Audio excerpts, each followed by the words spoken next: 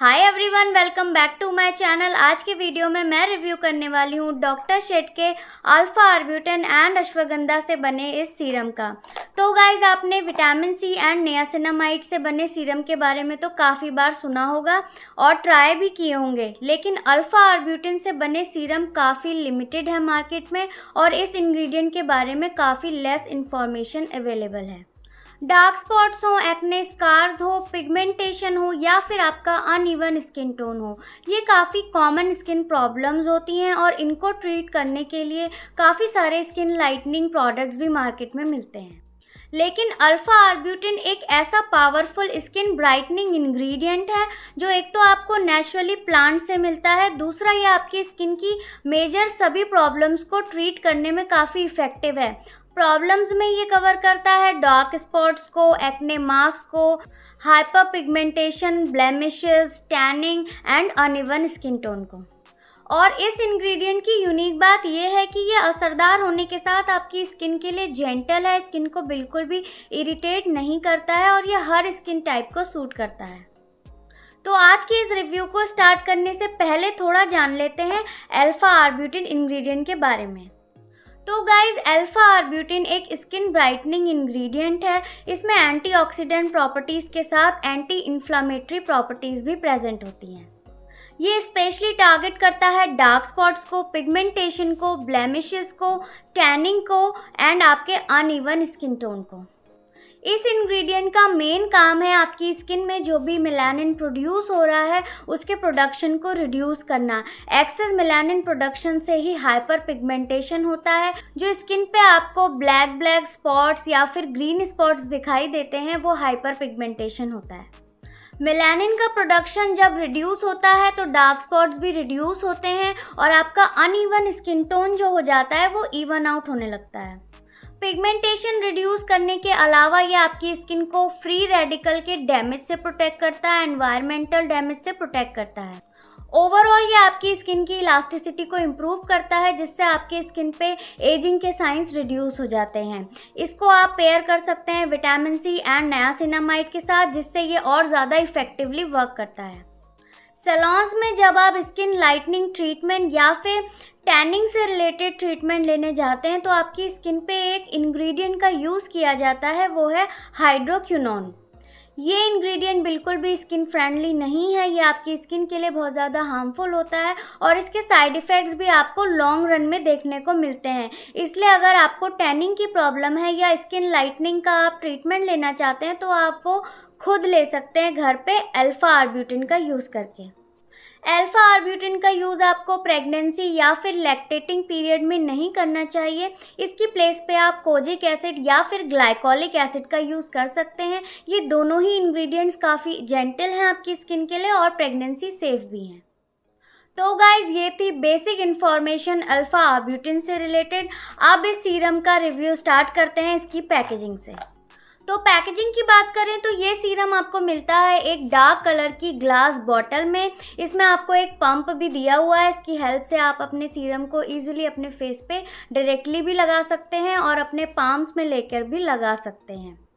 Dark glass bottle की packaging काफ़ी safe रहती है क्योंकि इससे आपका सीरम ऑक्सीडाइज नहीं होता है और ये एयर के कांटेक्ट में नहीं आता है। And product related full details इसके आउटर बॉक्स पे दी गई हैं। इस तरह की क्लियर पैकेजिंग से काफ़ी हेल्प मिलती है प्रोडक्ट के बारे में जानने के लिए। ये बॉटल काफ़ी हैंडी है, इसलिए ट्रैवल फ्रेंडली है और ये बिल्कुल लीकेज प्रूफ है। इसकी cost five hundred forty nine rupees है। सीरम के टेक्सचर की बात करें तो ये एक transparent light weight water like consistency की फॉर्म में है। लाइट वेट है क्विकली एब्जॉर्ब हो जाता है स्किन में non oily and non sticky है। इसके साथ ही ये फ्रेगरेंस फ्री है। इसमें पैराबिन एंड सल्फेट भी प्रेजेंट नहीं है, ये 100% परसेंट वीगन है एंड नॉन टॉक्सिक है।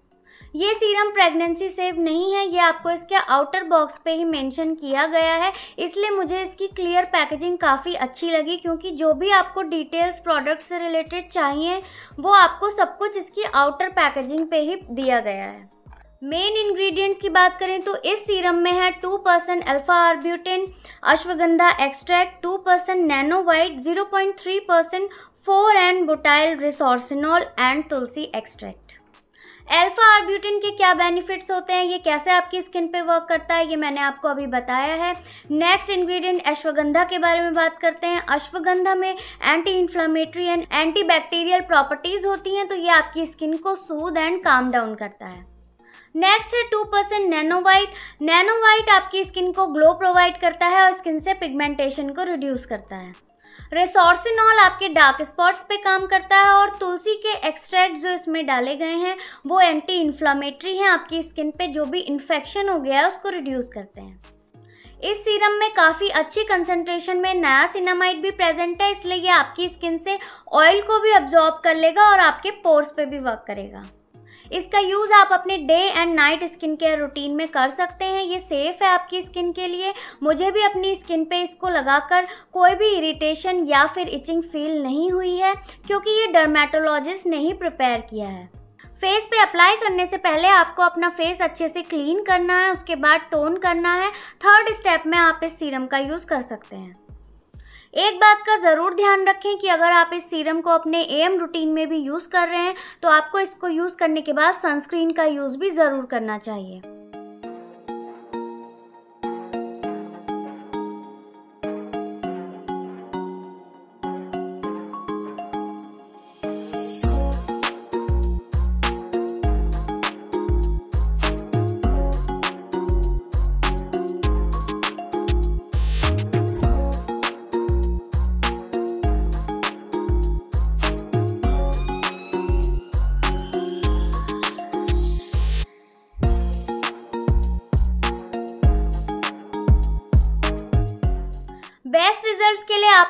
सीरम का कम से कम वन मंथ या फिर फोर्टीन डेज़ तक तो यूज़ करना ही चाहिए, क्योंकि उसके बाद ही आपकी स्किन आपको कुछ रिज़ल्ट शो कर सकती है।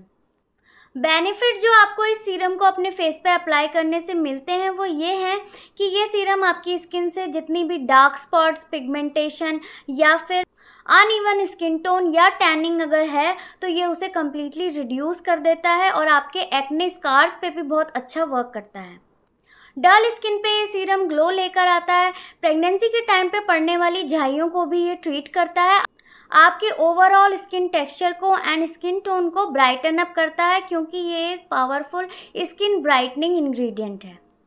मैंने सीरम को अपनी स्किन पे टेन डेज़ तक टेस्ट किया है और उस टाइम पीरियड में मुझे अपनी स्किन पे कोई भी इरिटेशन या रिएक्शन फील नहीं हुआ है। ये सीरम आपकी स्किन पे एक बहुत बढ़िया ग्लो प्रोवाइड करता है, लेकिन उस कंडीशन में जब आप इसको रेगुलरली यूज़ करेंगे तब। मैंने अपनी स्किन पे इसे कंटिन्यूस टेन डेज़ तक M and P M routine में यूज़ किया था, इसलिए मुझे अपनी स्किन पे ग्लो फील हुआ है, इसीलिए मैं इसको आपको रिकमेंड कर रही हूँ। मैं आपको जो भी प्रोडक्ट रिकमेंड करती हूँ, वो सब मैं अपनी स्किन पे ट्राई एंड टेस्ट करती हूँ, उसके बाद ही आपको रिकमेंड करती हूँ। तो गाइज़ अगर आपकी स्किन पे डार्क ब्राउन या फिर ग्रीन कलर के डार्क स्पॉट्स हैं हाइपर पिगमेंटेशन है ब्लेमिशेस हैं टैनिंग है, या फिर आप स्किन लाइटनिंग ट्रीटमेंट कराने के लिए सलोन में जाते हैं तो आप एक बार इस अल्फ़ा आर्ब्यूटिन सीरम को ज़रूर ट्राई करें। इससे आपको काफ़ी ज़्यादा हेल्प मिलेगी अपनी प्रॉब्लम्स को रिड्यूस करने में। तो गाइज़ ये था डॉक्टर शेट के अल्फ़ा आर्ब्यूटिन एंड अश्वगंधा से बने सीरम का डिटेल रिव्यू अब इस वीडियो को रैप अप करते हैं और मिलते हैं ऐसे ही नेक्स्ट इन्फॉर्मेटिव वीडियो में। वीडियो अच्छा लगा हो तो उसे लाइक करें चैनल को सब्सक्राइब करें। तब तक के लिए bye bye take care stay safe stay happy and stay beautiful